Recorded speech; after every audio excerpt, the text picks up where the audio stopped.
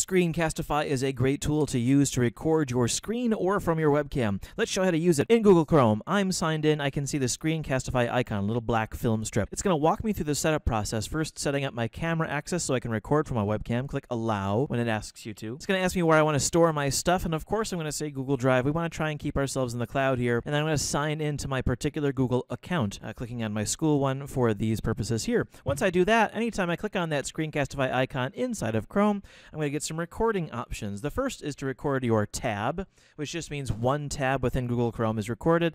The next is your desktop, which means any application. And the last is your camera, your webcam. And that's what we're going to focus on this time.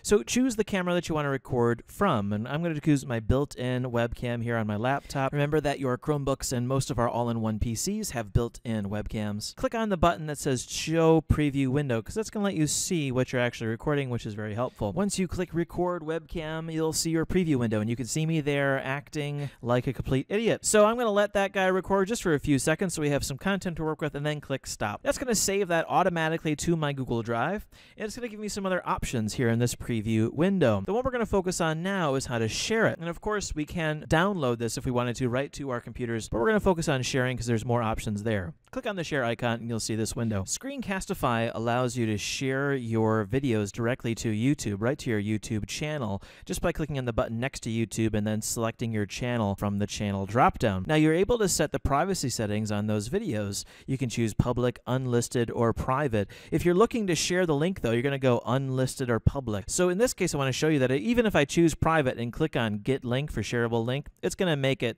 unlisted by default because of course I'm looking to share it so it can't be private in that way.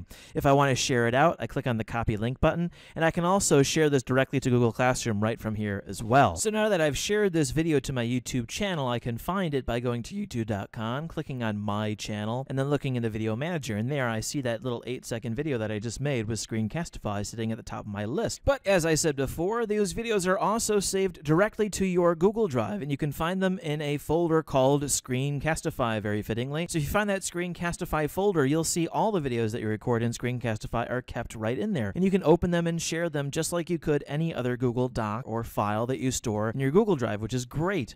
So why bother with the YouTube thing, you might be saying to me, and I understand that. Well, it's because of Google Forms, of course. If you want to ask questions in video format in Google Forms, you're going to have to have a YouTube URL that you can use to add a video to your form. So that's the key with the YouTube thing. So I took that copied URL and I took it into my Google Forms and I clicked on the add video button, which hovers kind of over on the right hand side, and I pasted that URL in and I added that thing in as a video question. And I can drop that in above a question that I'm asking to respond to the video and I can play around with it a little bit to make it look the way I want to. But now my kids can go to a form that I've made, click on the video and listen to a question that I ask them. And then they can use the same process I did to record with Screencastify to respond in the same way to my Google Form question. They can click Add File when they go and complete the form, go to My Drive, and find that Screencastify folder inside their Google Drive.